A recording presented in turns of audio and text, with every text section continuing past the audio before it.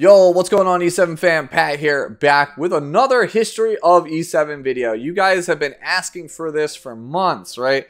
So many people in every stream, when are we going to make the next History of E7 video? Because, you know, it's been several months. If you recall where we last left it off, we talked about uh, both Tamarinne here, who was trash upon release, as well as Epic 7's best waifu of all time, Luna, and how much joy and happiness she brought to the community.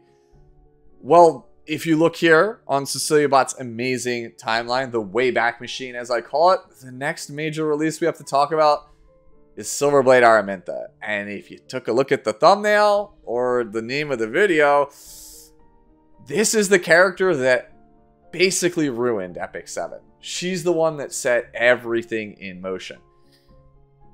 And I've been putting it off for a while for two major reasons. Uh, one, if you look at all the tabs at the top of your screen, it's going to take quite a while for me to tell the tale of Aramintha and the damage that she dealt to this game, the irreparable damage. Um, and two, it doesn't paint some of Epic 7's history in a very positive light, but I do think it's important for us to talk about it so that that way you could kind of get an idea of where Smilegate and Super Creative are coming with some of their decisions. So when I see comments like this one on my videos, you know why you're frustrated and why they're probably not going to make certain changes. So yeah, needless to say, three months ago or so when I was making these history videos a bit more frequently, uh, the game was in a bit more dire straits. Now that we have had the Overlord collab and, you know, our spirits have been uplifted a bit, I think it's safe to talk about it without getting people dejected and lowering the morale of uh, the community. So I kind of wanted to pick and choose my moment for this one because, um, no pun intended, it's a pretty incendiary topic here, right? So let's get on with it and talk about Silverblade Aramintha, the perhaps villain of Epic 7. I know some people might think of other characters like maybe Arbiter Vildred, which we will talk about him in this video. But Silverblade Aramintha was the character that put everything in motion. So let's talk about Silverblade Aramintha, who came out here, as you can see, uh, at the beginning of March of 2019. So this was the second ever Mystic Metal Moonlight 5-star after Specimen Sez, which we talked about last time. So here's the character's kit. Flame Friction with its 65 to 75% chance to burn on the S1. The S2 gives you 30% CR if you hit a burned enemy, and you obviously get that big AoE attack. And the big one, Meteor Fall, which has a 50% chance to inflict not one, not two, but three burns on the enemy team with a 100% chance to stun all enemies.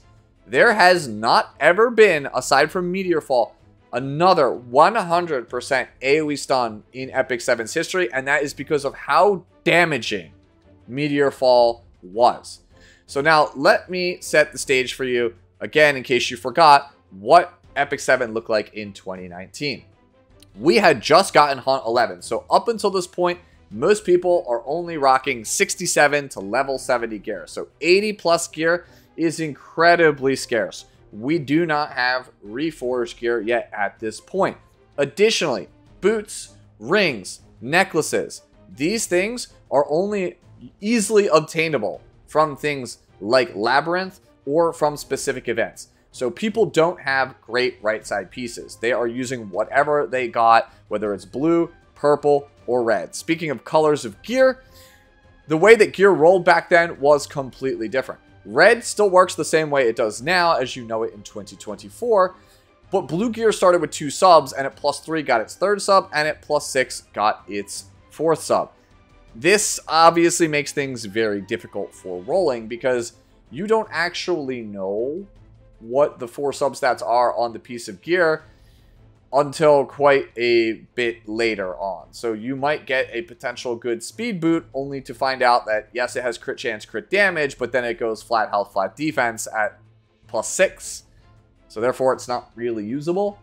And charms are way harder to get because the only way you can really get them is the challenge mode that predated Hall of Trials as well as Labyrinths with the ancient coins and silver transmit stones, which hmm, excuse me, unless you're a whale, you don't have a lot of those. So quality of gear, kind of bad. So that means having effect resistance, kind of not realistic. So your other way to survive Meteor Fall would be obviously immunity. Oh wait, right, we don't actually have immunity set. This was the patch that gave us the Azumanacan. Sell you a super broken unit locked behind $100 Mystic packs, and the solution is here, immunity set in a brand new hunt that is so difficult that most of the player base can't actually get it. And even if you actually are able to clear the Azimanak hunt, the way that gear drops in Hunt 11, it's pretty much garbage. You, most of the time, are getting 70 pieces. Very rarely are you getting 85s, and when you get 85s, it's like 75% of the time it's a blue, and like 24% of the time it's purple, and only 1% of the time is it red. So most of the gear you're getting, it's blue, and it's probably not going to roll very well. So good luck actually getting some realistically good immunity gear. So that leaves us now with outspeeding it, which if you're familiar with how this channel works and my stance on things, I think that when just outspeeding things is the only solution, it's bad game design because of how the RNG works for the gearing in this game. So how people would try to combat Silverblade Aramintha at this time was to play Righteous Thief Roozid, who we talked about in a previous history video because he was a premier CR pusher. 20% CR was a big deal, right? And he gave a speed imprint. So he was like the go-to character to try to make sure that you didn't get outsped by Silverblade Aramintha, because if you did, your team just got stunned and then burned to hell and you just died. There was just no real counterplay to it for most of the player base, right? Now, the problem with that is that the ML3 star Hurado basically just directly countered Roozid and just took away that line of avenue. So if you had Silverblade Aramintha and you had Hurado, you were kind of golden. You were in a pretty good spot. I should know from experience. I was one of the lucky people that actually got Silverblade Aramintha. She was my very first Moonlight 5-star in it, the entire game. After months of seeing my friends get stuff, I finally got her. And I also got really lucky and got Ruele of Light like a year later from the Galaxy, not a year, I should say a week later, my bad, from the uh, Galaxy Summons. So here is uh, some fun pictures for you guys to actually look at from my time getting Silverblade Aramintha. I, once getting her, immediately went from Challenger into Champion. Because Champion was the realm of, like, the whales, right? Most of the player base was in Challenger. It was very difficult for you to climb into Champion at this point. Uh, only, like, really the best of the best were there.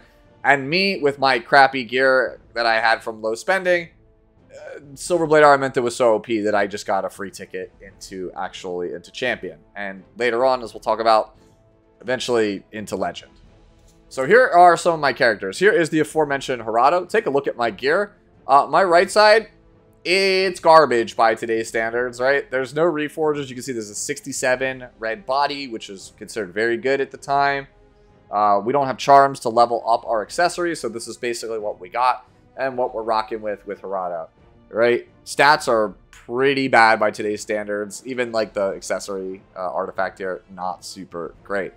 And here is my Silverblade Aramintha. This is what she looked like when I hit Legend for the very first time. It's not as impressive as it seems. The big standout here is the uh, effectiveness at 112, which when I show you my Destina, you'll start to realize why 100 effectiveness, it's kind of broken, right? Not nothing super uh, insane, at least by today's standards, on this character. But 200 speed on Silverblade was considered like okay back then. For reference, the like Giga Whales, they were around 235 to 240 speed. Like there was, it was a big deal that a consecrator like Sky King had like a 240 speed Assassin Cidd. Like you were not outspeeding 240 speed, right? So the basic ways, again, to counter were Roozid, pray they didn't have Hurado, um, or have immunity gear. The problem is, if you had immunity gear, they could go Basar and strip your immunity, uh, and Hurado to deny your CR pusher, and then stun you with Silverblade Aramintha. So, yeah, not really great options to beat Silverblade at this time. Just in case you want to see some of the other characters I played during this time. Here's my Luna uh, on Gavleet's gear because that was what was the best gear for most players at the time. You can see the 71 necklace because, again, accessories really hard to come by at this point. Here's my Crimson Armin. Look how tanky she is. Look how crazy this is, right? 1288 defense, 16k health. Back then, it wasn't great, but it was considered pretty decent. Uh, by today's standards, this is pretty much trash, right? We can agree this is pretty much trash. Here's my Ruele of Light.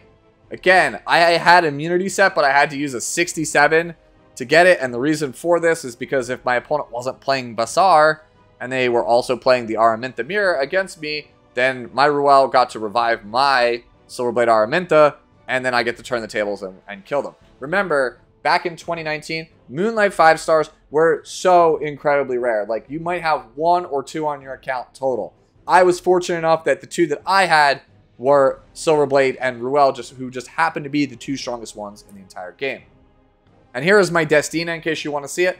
A whopping 109 effect resistance. My gear is not all done at this point because I was trying really hard uh, to actually get enough effect resistance. Little did I know that 109 doesn't do squat to my 112 effectiveness Silverblade, and there are people with better Silverblades than me. So, again, resisting Silverblade was pretty much futile.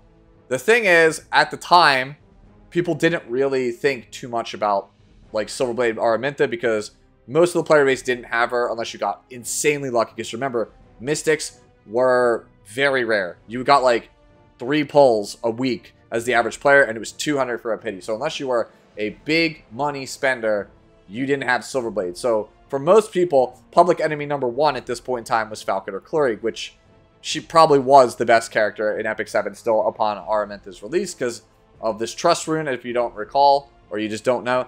Back then, uh, Falconer Kluri had built an RNL at a 15% rate, and people would build her incredibly fast with effectiveness.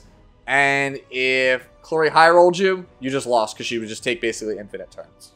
So this character was stupid broken. And just like the Holy Trinity before it, they nerfed this character. Nobody batted an eye, but people got it in their heads. If you scroll down here, I believe there is the selector announcement. No, it's not in this post, but yeah, they got it in their heads. Nerf means selector, right? As established with the Holy Trinity and established with Falconer Kluri. Now, this leads us into April, where Aramintha is starting to become a problem, but it's not that big of a deal because everyone is more excited about this announcement. For months, Epic 7 had teased that a world-class IP that people knew about would be coming. And th when this image came out, people literally just went, huh? What the hell is this? Now, for us who play fighting games, we knew right away. This was Guilty Gear, baby, and I was stoked. I remember as soon as this came out, I went, I grabbed my cell phone. I called my buddy Crest, and I was like, the collab is Guilty Gear! Let's go. And he was like, oh yeah, that's actually a pretty good thing. But like he didn't know too much about it. And I explained to him, it was like BlazBlue. It was basically Arc System Works' previous fighting game. And he's like, well, BlazBlue's great. Guilty Gear is going to be great. This is a great option. But some people were kind of disappointed by it being Guilty Gear because people wanted other things like Demon Slayer as the collab, which was very popular at the time, or Overlord which I found this post by. This is a good trip down memory lane. Overlord collab. They wanted this one instead. Imagine getting Ein, Shalltear, and Albedo. Just, just imagine, dude. My wallet will explode if Albedo comes out. So now maybe you have some idea as to why they went for Overlord because this was a pretty popular sentiment even back then.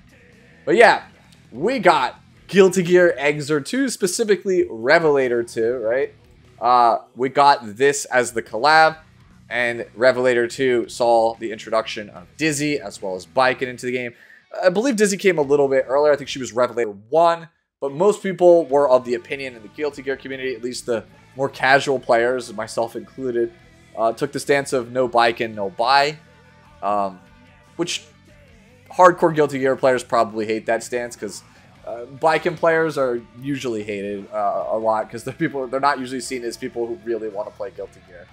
Anyways, that's for another time. But we got at the end of April the Guilty Gear collab, right? And we got our free soul. We got our girl Baiken, which I'll show you my Baiken stats here on the screen in case you want to see what mine looked like. She was one of the characters that I rotated in for like, uh, I want to say uh, mid-range style compositions. And sometimes I also cleaved with her. I used her as kind of like a bridge in cleave. Yes, at one point I was a cleaver. You always have people like ATK and Boil Noodles come into my chat and say I need to become a cleaver or I should become a cleaver. I don't need to become a cleaver. I was a cleaver. I'll prove it to you. Here is my team that I played in Arena Offense in Legend for several months. If that team does not scream cleave to you, then I don't know what does. This was my cleaver arc. I started Epic 7 as a cleaver. I fell out of it because my gear doesn't allow me to actually do it. I just was struggling to stay in Champion 5 as a cleaver, and I just happened to be outfitted to be a much stronger bruiser player, but that's for another time. Anyways, this patch also introduced two new characters to the Mystic Summon as Aramintha came out. Crescent Moon Rin and Sage Baal and Sezan. And this, these two characters specifically, kind of really made me angry. Because this was the first time that I could remember the content creators in Epic 7, at least the former ones, I won't name names, really missed the mark. And I feel like it did some damage to the community, right? Now, let me explain. So, Sage Baal and Sezan, uh, unique design, but it's not for everybody. A lot of people didn't want to pull for this character because of how quote unquote ugly he looked. And a lot of content creators were of the opinion that this character was terrible, right? So the thing is, this character is essentially a five-star Hurado because Hurado checks you for trying to go fast. Why would I play a quote-unquote worse version of Hurado? Because the Cloud of Ruin gives you a 25% CR push as opposed to the 20% that Hurado gave you. So Cloud of Ruin, it seems good, but it's not that strong, right? And Crescent Moon Rin here, this was the character that everybody was talking about. The character that everybody claimed would break the game, right? Because she was so OP. Yes, sure, she was potentially an answer to Aramintha, but she was considered maybe OP at the start. So let's look at this skill set here. Heckle, attack stamina at the ring, granting a random buff to the caster for one turn. And Eye Catcher here steals two buffs and grants their effects to allies. Now the big one here, Curtain Call, dispels all of the target's buffs before granting immunity to all allies for two turns. So this character was as fast as Acid, like the fastest character that anybody would actually play in the game. Yes, you had Kayron, but nobody played Kayron at this point, right? So Rin was the answer. If you had Rin, you could outspeed your opponents, you could get immunity, and you could Silver Blade Aramintha them, and there was nothing they could do about it. And that, I don't think, could be further from the truth, because just you read Cloud of Ruin and realize um, it just dispels the immunity and puts you to sleep. And you can't cut in front of Sage Baal and Sezan. So this was the first time in my E7 career where I was like, this feels like missing. Like at there's two ways to look at it, right? Content creators are either one don't have a very strong grasp of the fundamentals of the game, in which case that's not good because you would want your community to be informed. You'd want new players to feel informed about characters. And at worst, it's disingenuous because you're downplaying a character because you don't want to actually have to play against it, so you tell everybody to not pull. So this was like not to sound like bragging or anything. I, like me and my friends were like, you guys have got this all kind of wrong.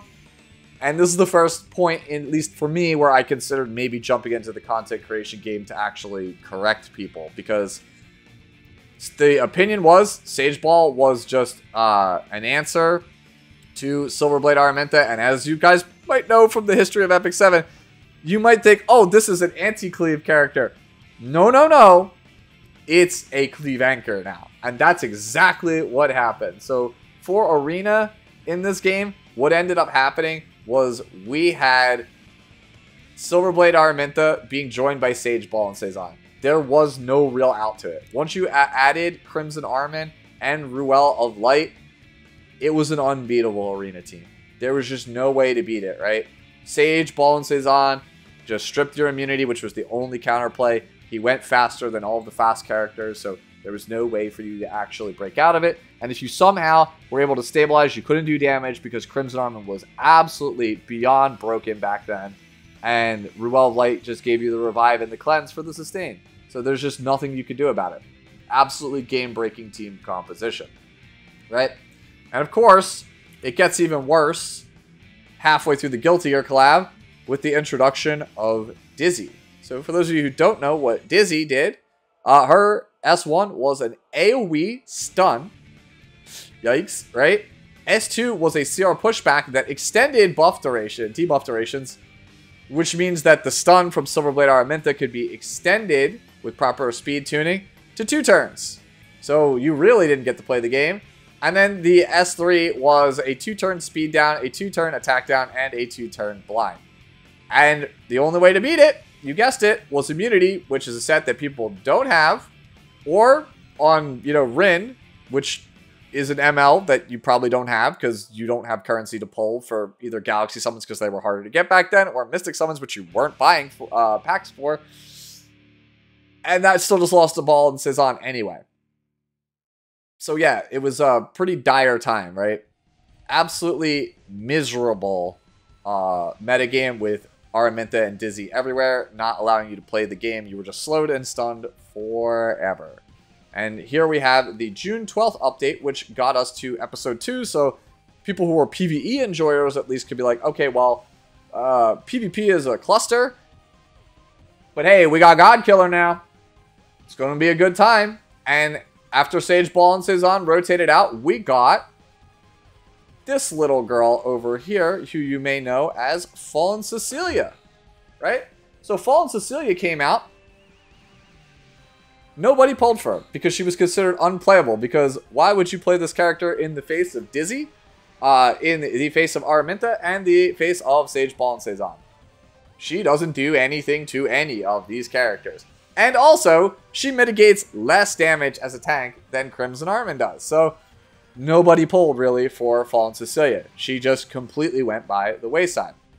Now, it's been about three months at this point since Silverblade Aramintha has come out. And everybody is complaining about how BS she is, how stupidly broken she is, how broken Baal and Sezan is. So we're at the point now where the Mystic characters coming out are just broken. I mean, Fallen Cecilia was like considered decent, but not, but basically like a budget option if you didn't already have Crimson Armin. So people were demanding that their one or two ML5s they had on their account could be just as good as Silverblade Aramintha. They wanted buffs. Arbiter Vildred was garbage. We need Arbiter Vildred to be stronger. Silverblade, or not Silverblade, I'm sorry, Spectre Tenebria is a poison unit. That's terrible because the 3-star Kiris does something like that already, and she's way better and easier to get. My Spectre Tenebria should do something more. People were asking for better balance. And here on June 14th, we got developer notes, right? Hello, this is Super Creative. Today we'll be sharing with you the Epic 7 Festa frequently asked questions. They're talking about increasing the amount of Molagores you got in your account, and you look at the balance changes. Recently, we received many questions regarding the balancing of new Moonlight heroes, specifically Aramintha and Sage Baal. And we consider these questions to be very important. Moonlight heroes have been designed particularly for player versus player content. Currently, we do not offer any PvE endgame content that allows players to compete with each other, so heroes that are commonly used in PvP content have a higher value. Later on, we plan on revamping quests and introducing new and more challenging PvE content, such as World Boss, which that one did not age too well, guys and girls. So that other heroes can be used in additional content and become more valuable. In addition to these changes, we will also be monitoring the usage of newly released heroes and balancing older heroes so that their range of selection isn't drastically different when compared to the newly released heroes. Additionally, we also plan on creating new metas and strategies with the release of new heroes. At the Epic Festa, we announced balance changes that will occur on June 27th. We will go into the finer details of these changes in a separate notice. First, though, we'd like to explain the main intention of the balance changes with this notice. So people asked for it, and they responded with Arbiter Vildred. Revival is a key component for Arbiter Vildred. However, after Revival, some players found it difficult to deal damage to continue to survive. And that's because Dark Contract revived you at the same CR that you used to be at. So if he was at 40% CR and died, he revives at 40% and you just kill him again. So, we made some changes to Arbiter of Vildred, right? So we, when the improved Arbiter of Vildred resurrects through his passive skill Dark Contract, He grants himself 100% CR as well as an attack buff.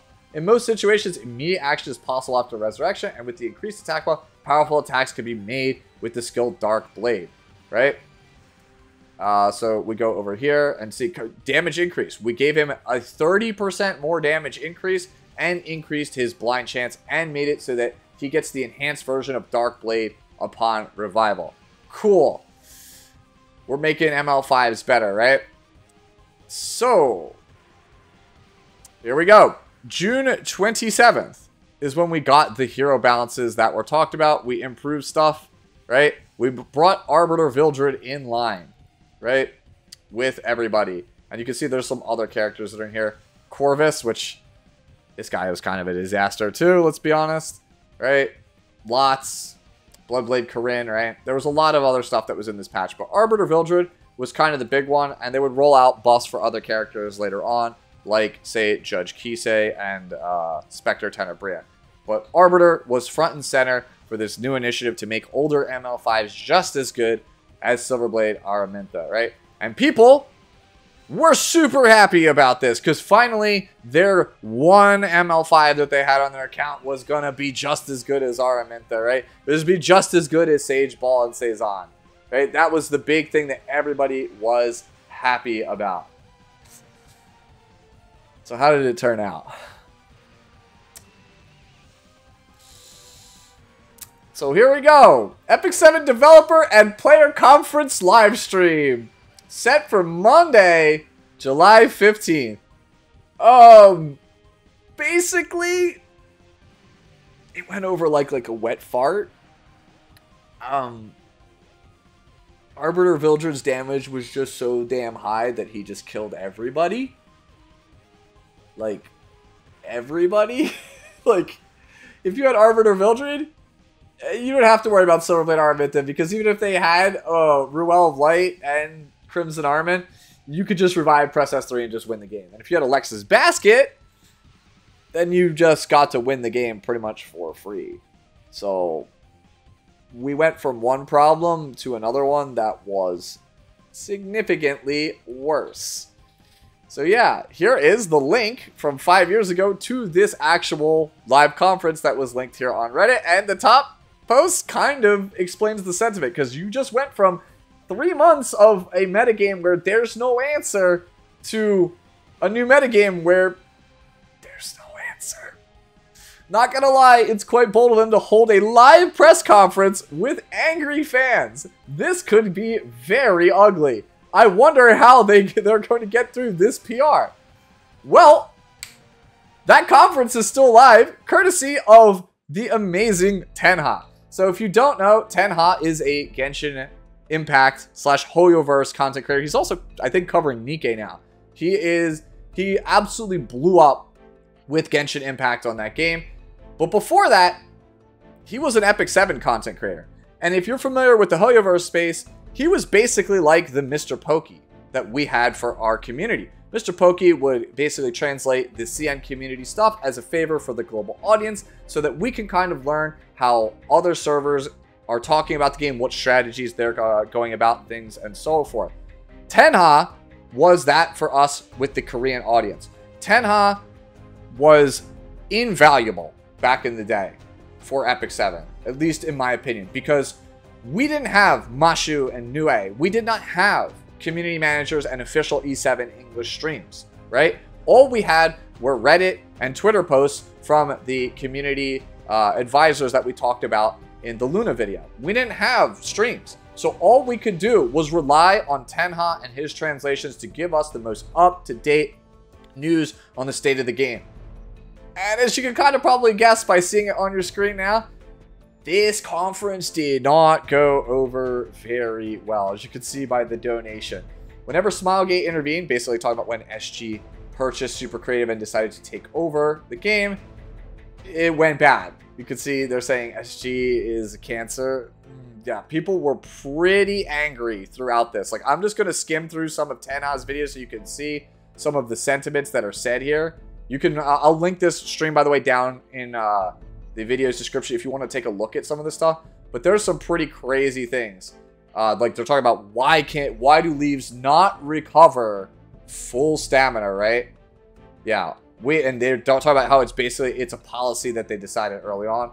I believe there's one that I wanted to talk about here at the end here, where they talk about um, they talk about specifically why they don't nerf ML5s, right? People are asking, please nerf the Moonlight 5 stars. Like, okay, we get it. You made broken units. You should actually walk them back. Their stance on some of this stuff, right? Yeah. Uh, ML Aramintha and hero, other ML heroes are too strong. Just like we said, we really want to nerf and balance the game. But if we do that, I think we're showing a lack of responsibility. Keep in mind, the person speaking is Director Unit Kim. This is basically the person in charge of E7. By nerfing the ML5 characters, we're showing a lack of responsibility. We'll try to balance it first. If it doesn't work, then we'll nerf them, right? So they're going to try to see if they can salvage the ship. Now, I don't know a ton about Korean work culture, but I have worked as a consultant for Japanese card games in the past. And I will say that from my experience, trying to get changes or to getting them to admit fault is kind of like pulling teeth because they, as a culture, it's the worst thing you can do is admit wrongdoing. It is a big problem there. To give you an example, we had a mechanic that we were working on. It didn't feel fun to play. It was very clunky and just not really strong. And it was supposed to be the headliner for a product that we were working on. So it had to be fun and engaging because otherwise it wouldn't sell. Now, we went through I want to say sun up to sundown, three days, me and my team arguing with the Japanese development team that the mechanic just wasn't very good.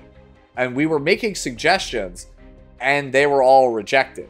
Because to take our suggestions, our feedback into account would be to admit wrongdoing. And that is a big no-no. It would make the director, the lead game designer, look bad.